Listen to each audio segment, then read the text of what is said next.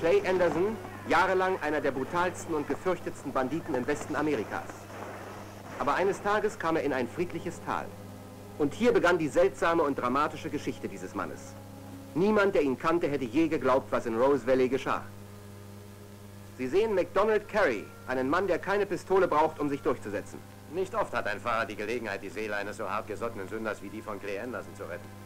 Patricia Medina, eine Frau, die sich hingezogen fühlt zu dem Fremden, von dem sie nichts weiß und dem sie vertraut. Skip Homeyer als Clay Anderson. Hart und unerbittlich verfolgt er sein Ziel. Sie und ich, wir sind uns sehr ähnlich. Ich hoffe, dass Sie das auch noch einsehen werden. Aber er spürt bereits, dass sich in ihm eine seltsame Wandlung vollzogen hat. Eine Wandlung, die sein bisheriges Leben nutzlos erscheinen lässt. Aber noch bäumt er sich dagegen auf, obwohl er weiß, dass es keinen Ausweg für ihn gibt. Kann ich mit so einem Tier schon anfangen? Gar nicht. Erschießen Sie es. Es ist ein Außenseiter, da kann man nicht viel machen.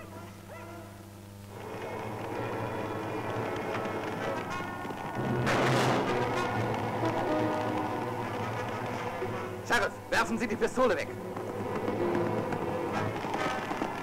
Mach das Tor auf.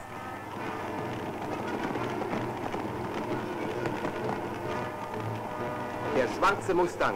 Ein außergewöhnlicher Film um ein außergewöhnliches Geschehen.